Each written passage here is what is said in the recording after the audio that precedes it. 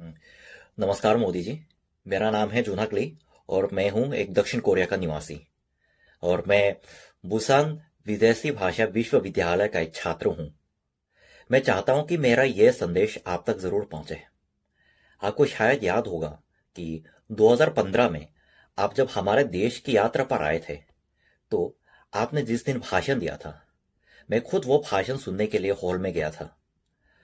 उस दिन आपने भाषण में हमारे निवासियों को, यानी दक्षिण कोरिया के नागरिकों को, भाइयों और बहनों बोल के जैसे संबोधित किया।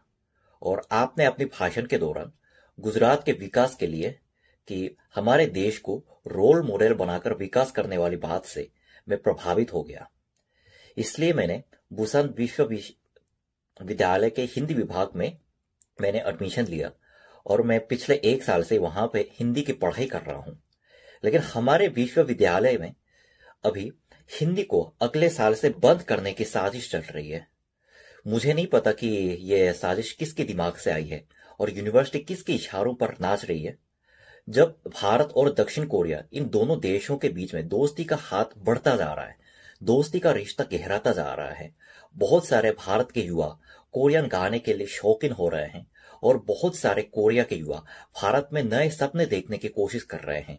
इस हालत में हमें ज़्यादा से ज़्यादा भारत को जानने वालों की, खास करके भारत की भाषा को जानने वालों की जब ज़रूरत है, तब हमारे विश्वविद्यालय की तरफ़ से इस तरह का निर्णय होना यह अत्यंत गलत बात है।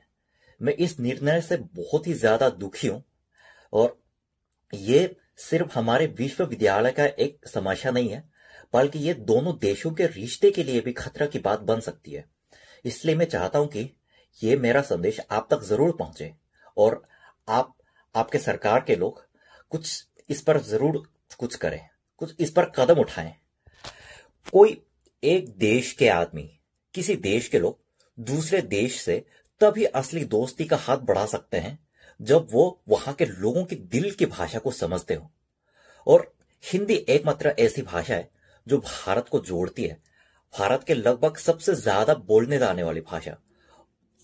और विभिन्न भारत के कल्चर को, विभिन्न भारत के अंगों को जोड़ने वाली भाषा हिंदी को इस विश्वविद्यालय से हटाया जाना, ये निर्णय अत्यंत गलत है। मैं चाहता हूँ कि आप हमारे इस संदेश को ज़रूर सुने और कुछ करें। नमस्ते, मेरा नाम लिसुजिन है।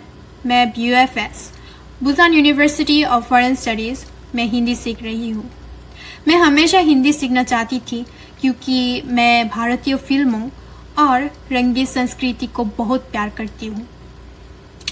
लेकिन हमारे कक्षा लगभग बंद होने वाली है।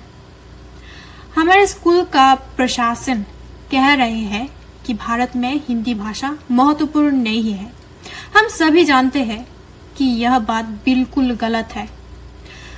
हम हिंदी को बचाने की पूरी कोशिश कर रहे हैं। कृपया हमारी मदद कीजिए। धन्यवाद नमस्ते, मेरा नाम किमसोयन है और मैं Busan University of Foreign Studies में हिंदी पढ़ रही हूँ। मुझे हिंदी और भारतीय संस्कृति बहुत पसंद है। हमारे यूनिवर्सिटी में अगले साल से हिंदी की कक्षाएँ लगभग खत्म होने वाली हैं। कृपया हिंदी की कक्षाओं को खत्म होने से बचाइए। धन्यवाद। नमस्ते, मेरा नाम जीवन किम है। मैं Busan University of Foreign Studies से हिंदी में बीए कर रही हूँ। मुझे हिंदी सीखना बहुत अच्छा लगता है। इसलिए मैं बीए करने के बाद भारत में जाकर और पढ़ाई करना चाहती हूँ। लेकिन हमारे स्कूल में अगले साल से हिंदी में बी ए ख़त्म होने जा रही है। हमें हिंदी सीखते समय बहुत खुशी मिलती है। लेकिन अब तो हिंदी में बी ए ख़त्म होने के कारण हम हिंदी की पढ़ाई भी नहीं कर सकेंगे। हम बहुत दुखी हैं। कृपया हिंदी की पढ़ाई को ख़त्म होने से बचाइए।